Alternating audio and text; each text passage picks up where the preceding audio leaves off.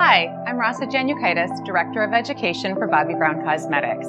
If you're tired of dealing with dry, chapped lips, you won't be much longer. Bobbi's Extra Lip Tint has all the uber moisturizing benefits of her extra skincare, as well as a tint of pink to help bring out the lip's natural lip tone.